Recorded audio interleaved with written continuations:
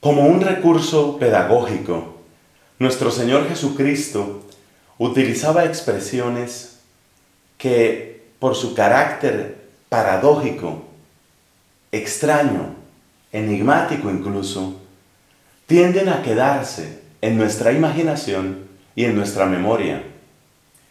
Por ejemplo, cuando Él dice, hay muchos primeros que serán últimos y muchos últimos que serán primeros, está mostrando una especie de paradoja del Evangelio. La gente que es tenida por más importante o por más exitosa, según los criterios del mundo, probablemente es la que tarda más en darse cuenta del bien del Evangelio. Entonces los primeros van de últimos. Y los últimos, es decir, aquellos que parecen más despreciables, como en época de Cristo sucedía con los publicanos, terminan siendo los primeros porque precisamente en la medida en que su pecado es más evidente, también les resulta a ellos mismos más evidente su necesidad de la gracia divina. Y por eso se acercan con mayor prisa, con mayor disponibilidad al Evangelio de Jesús.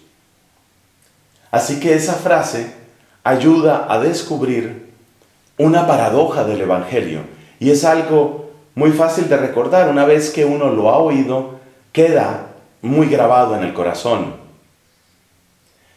Algo parecido sucede con otra expresión que está en el texto de hoy, capítulo noveno del Evangelio de Lucas.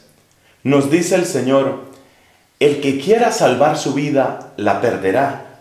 El que pierda su vida por mí, la encontrará. De nuevo está ese carácter paradójico, un poco extraño, quizás algo enigmático. ¿Por qué, por ejemplo, preguntemos, el que quiere salvar la vida la pierde? Y para eso preguntémonos antes, ¿Qué puede querer decir eso de salvar la vida? Pues querer salvar la vida yo creo que corresponde a esa mentalidad de no perder nada, el que nunca pierde. El que quiere salvar su vida es el que cree que puede vivir sin nunca perder. ¿Y a qué hablamos? ¿A qué nos referimos con esto de perder?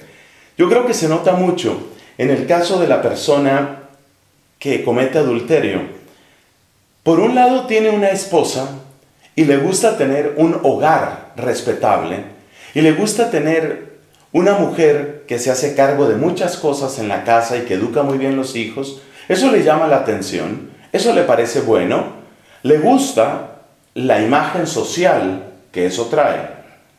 Pero por otro lado, no quiere privarse, no quiere perder, no quiere privarse de los placeres de una aventura, quizás con una mujer mucho más joven, mucho más divertida, mucho más sensual y seductora. Entonces ya ves, no quiere perder, quiere tenerlo todo, quiere tener la esposa responsable que le da una imagen de respetabilidad en el mundo social, pero por otro lado quiere tener la intensidad de la seducción quiere tener la aventura y quiere tener el placer, no quiere perder nada. Eso es lo que significa salvar la vida. Salvar la vida es no perder nada. Y no perder nada significa en realidad no entregar nada, no dar nada de sí mismo.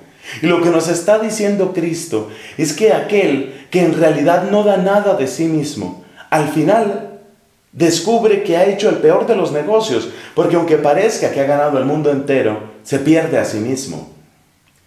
Entonces, no puede ser actitud de la vida, no puede ser criterio de vida, ese tratar de no perder nada, como se nota bien por el ejemplo del adulterio.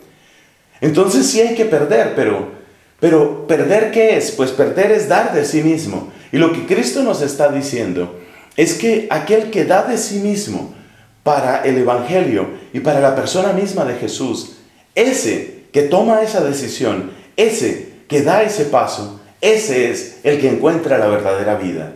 Que esta cuaresma recién empezada sea para nosotros camino para encontrar la verdadera vida junto a aquel que es camino, verdad y vida.